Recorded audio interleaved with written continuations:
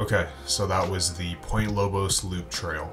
It's about a 15 minute drive from Monterey to the trailhead, and then another 5 minutes from the trailhead to the Garrapata State Park, which was in my last video. There's both paid and free parking. This is the entrance right here, and there's a bunch of free parking on both sides of the road.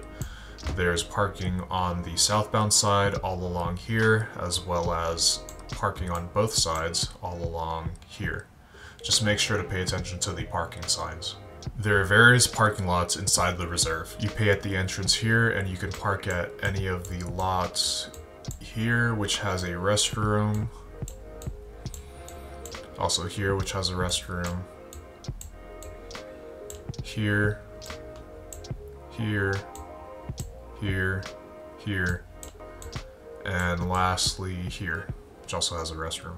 Also keep in mind, if it's a holiday or the weekend, the lots tend to fill up quickly, so get there early in the morning. I personally wouldn't hike this whole trail. If you want to visit all the waypoints like I did, I suggest that you pay for parking and try to go from lot to lot so that you can spend more time exploring each area. But if you plan on parking for free and walking into the reserve, I suggest that you stick to the west and the south side.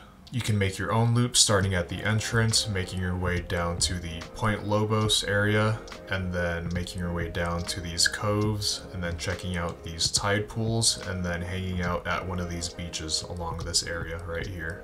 That's about it. If you have any questions, you can leave them down in the comment section below. Thanks for watching, and I'll see you in the next one.